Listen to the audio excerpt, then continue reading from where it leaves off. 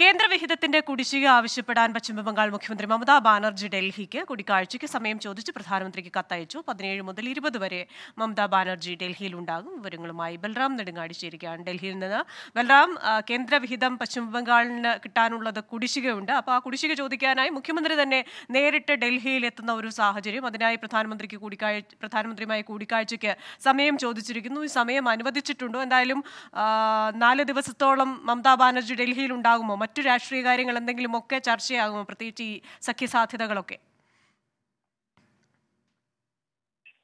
Christina ഈ രണ്ടായിരത്തി ഇരുപത്തിനാല് ലോക്സഭാ തെരഞ്ഞെടുപ്പിനായുള്ള ഇന്ത്യ മുന്നണി നീക്കങ്ങൾ സജീവമായി എന്ന ഒരു ഘട്ടത്തിൽ കൂടിയാണ് മമതാ ബാനർജിയുടെ നാല് ദിവസത്തെ ഡൽഹി സന്ദർശനം എന്നതുകൊണ്ട് തന്നെ മറ്റ് രാഷ്ട്രീയകാര്യ കൂടിക്കാഴ്ചകളും ഈ ഡൽഹി സന്ദർശനത്തിനിടെ ഉണ്ടാകും എന്ന് തന്നെയാണ് കരുതുന്നത്.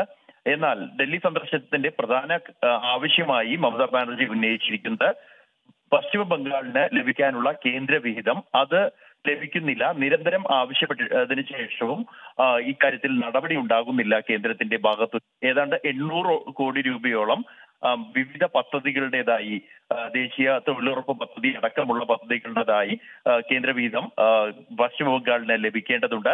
ഇത് വാങ്ങി എടുക്കുക എന്നുള്ളതാണ് ഡൽഹി സന്ദർശനത്തിന്റെ ലക്ഷ്യമെന്ന് മമത വ്യക്തമാക്കിയിട്ടുണ്ട്. പതിനേഴിന് വൈകിട്ട് മമത ബാനർജി ഡൽഹിയിൽ എത്തും. അതിനുശേഷം നാല് ദിവസത്തോളം മമത ബാനർജി ഡൽഹിയിൽ ഉണ്ടാകും.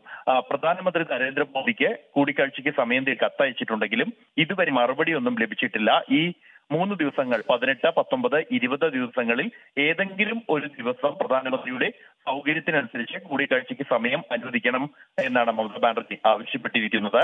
ആ, നേരത്തെയും മമത കഴിഞ്ഞ രണ്ട് കൂടി സന്ദർശനങ്ങളിലും പ്രധാനമന്ത്രിയുമായി മമതാ ബാനർജി കൂടിക്കാഴ്ച നടത്തിയിരുന്നു. പ്രധാനമന്ത്രി വിളിച്ച മുഖ്യമന്ത്രിമാരുടെ യോഗത്തിൽ പങ്കെടുക്കാതിരുന്ന മമതയാണ്. പിന്നീട് ഒറ്റയ്ക്ക് വന്ന് പ്രധാനമന്ത്രിയെ കണ്ട് സംസ്ഥാനത്തിന്റെ ആവശ്യങ്ങളടക്കം ഉന്നയിച്ചത്. സമാനമായ ഒരു നീക്കം തന്നെയാണ് ഇത്തവണയും മമതാ ബാനർജി നടത്തിയിരിക്കുന്നത്. ഒപ്പം തന്നെ രാഷ്ട്രീയ പ്രാധാന്യമുള്ള മറ്റ് കൂടിക്കാഴ്ചകളും ഉണ്ടാകും എന്ന് തന്നെയാണ് സോണിയാഗാന്ധി അടക്കമുള്ള നേതാക്കളെ മമത കണ്ടേക്കും എന്ന സൂചനകളാണ് തൃണമൂൽ കേന്ദ്രങ്ങളിൽ നിന്നും ലഭിക്കുന്നത്. ഏറെ രാഷ്ട്രീയ പ്രാധാന്യമുള്ള ഒരു ഡൽഹി സന്ദർശനമായിരിക്കും പശ്ചിമബംഗാൾ മുഖ്യമന്ത്രി മമതാ ബാനർജിയുടേത്.